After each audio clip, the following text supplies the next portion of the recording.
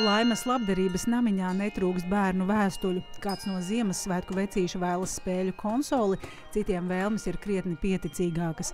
Jēkabs, kuram ir māsa un septiņi brāļi, svētkos vēlas cepuri. Madara gaida leļu māju un klavieres.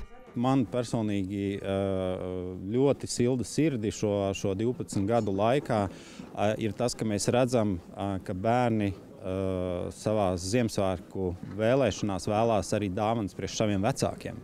Nevis priekš sevis, bet viņi vēlās kaut ko mammai vai tētim. Par namiņa patronesi šogad kļuvusi premjera Evika Siliņa. Viņa izvēlējusies iepriecināt ģimeni, kurā bērns Ziemassvētku vecītim lūdzas stipras ragavas. Ja nevar ģimenes lokā palīdzēt, tad mēs esam viens otram. Un Ziemassvētku laiks ir tas laiks, kad mēs varam parādīt, ka mēs palīdzam viens otram. Un tas nekas, ka mēs varbūt pat nepazīstam tos bērnus, bet tas prieks, došanas prieks arī ir prieks. Aizvadīto gadu laikā piepildītas vairāk nekā 12,000 bērnu vēlmes.